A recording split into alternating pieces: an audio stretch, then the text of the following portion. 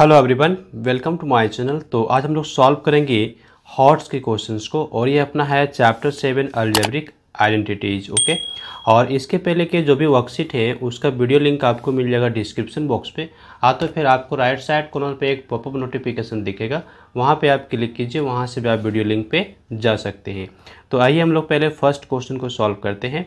और ये कहता है the sum of x plus three observations is x to the power four minus eighty one find the mean of the observation तो हम लोग को यहाँ पे मीन निकालने का जो फॉर्मूला है, ये हम लोग को जानना पड़ेगा और इस क्वेश्चन को हम बड़े आसानी से सॉल्व कर पाएँगे।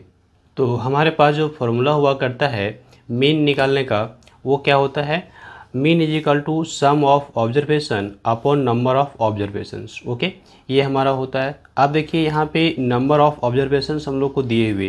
कहता है ना sum of x plus three observations तो ये हमारा क्या हो गया ना नंबर ऑफ़ ऑब्जर्वेशंस हो गया। तो हम यहाँ पे नोट करने वाले हैं एक्स प्लस थ्री ये हमारा हो गया नंबर ऑफ़ ऑब्जर्वेशंस ओके और दूसरा जो हमारे पास है सम ऑफ़ ऑब्जर्वेशंस तो ये हमारे पास दिया हुआ है x to the power four minus eighty one, right? हम यहाँ पे वैल्यूज़ पुट कर लेंगे, हमारा मीन निकल जाएगा। तो आइए हम वैल्यूज़ को पुट कर लेते हैं।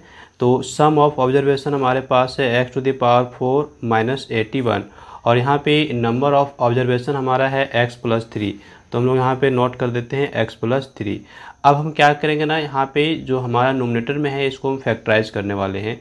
तो हम इसको सिंपल सा लिख सकते हैं x to the power two और इसका हम फिर से पावर कर लेंगे टू ठीक है? और यहाँ पे जो हमारा 81 है, इसको हम लिख सकते हैं 9 टू दी पावर टू ये हमारा a square minus b square पे ब्रेक हो जाएगा, और अभी हमारा जो डेनोमीटर में है, वो एज इट इज़ रहेगा, यहाँ पे कोई भी चेंज नहीं होने वाला है। तो आप इसको ब्रेक कीजिए, यहाँ पे देखिए आपका क्या हो जाएगा। ये हो जाएगा एक्स स्क्वायर प्लस नाइन ठीक है? यानी ए प्लस बी किए। फिर आप करने वाले हैं a minus b that is a square यानी x square minus nine. Okay? अभी आपका डेनोमीटर में सेम रहेगा, नो चेंज होने वाला है, कोई भी चेंज नहीं होगा। चलिए, अगला स्टेप फिर से आप देखिए। आप यहाँ पे क्या करने वाले हैं? अभी एक्स स्क्वायर प्लस नाइन तो आपका रहेगा, यहाँ पे कुछ भी चेंज नहीं हो सकता, लेकिन यहाँ पे आपका चेंज हो जाएगा। ये क्या होगा? आप इसको लिख सकते हैं, एक्स का स्क्वायर और ये नाइन है, इसको आप लिखेंगे थ्री का स्क्वायर राइट और ये ब्रैकेट से बंद कर दीजिए। अभी आपका a square minus b square यहाँ फिर से चलेगा तो आप उसको ले लीजिए। और डेनोमीटर में आपका एक्स प्लस थ्री अभी रह जाएगा। आगे देखिए, अगले स्टेप में आपका यहाँ पे हो जाता है एक्स स्क्वायर प्लस नाइन और ये ब्रैकेट से आप ले लीजिए। यहाँ पे लिखिएगा a plus b into a minus b तो ए के पोजीशन पे एक्स है बी के पोजिशन पर थ्री है तो एक्स प्लस थ्री लिखिए और फिर यहाँ पे मल्टीप्लाई में लिखिए एक्स माइनस थ्री ओके यानी कि ए माइनस बी और आपका डेनोमीटर में है एक्स प्लस थ्री ये आप रहने दीजिए। अब देखिए, आपका यहाँ से कैंसिल आउट हो रहा है। यहाँ पे वन टू थ्री टर्म्स है और यहाँ पे देखिए, ये एक्स प्लस थ्री और ये एक्स प्लस थ्री आपका कैंसिल हो जाएगा। तो आपके पास बचेगा क्या? यहाँ पे आपके पास बच जाएगा एक्स स्क्वायर प्लस नाइन और यहाँ पे मल्टीपल में रहेगा एक्स माइनस थ्री तो इस तरह से ये हमारा आ जाता है आंसर। यानी कि हमको निकालने बोला गया था मीन और वो हमारा मीन यहाँ पे निकल जाता है बड़े ही आसानी से।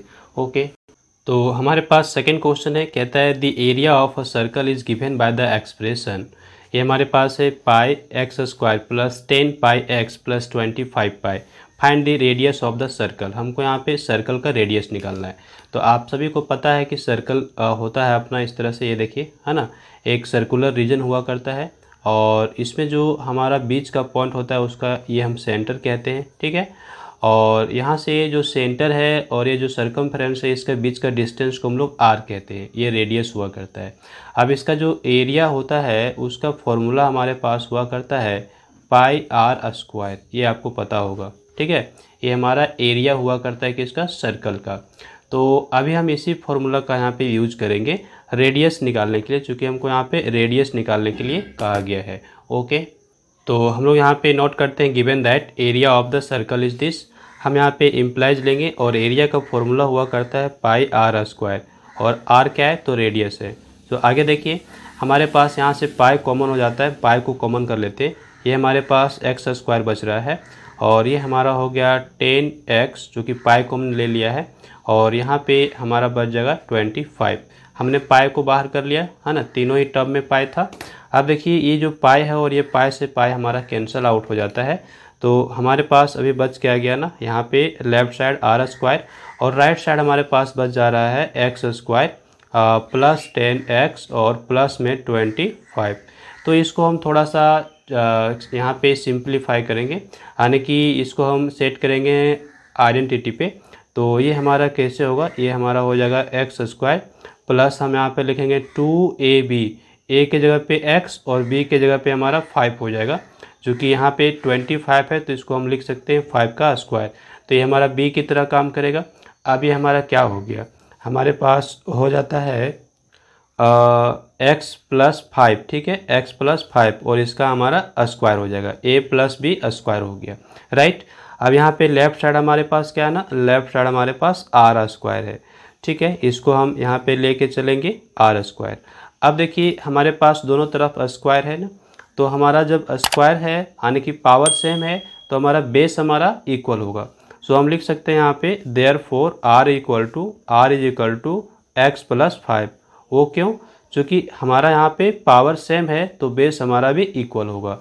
तो हम यहाँ पे लिखेंगे hence radius is equal to this तो हमारा फाइनल आंसर यहाँ पे hence radius of the circle is equal to x plus five ये हमारा क्या हो गया ना? आंसर ठीक है?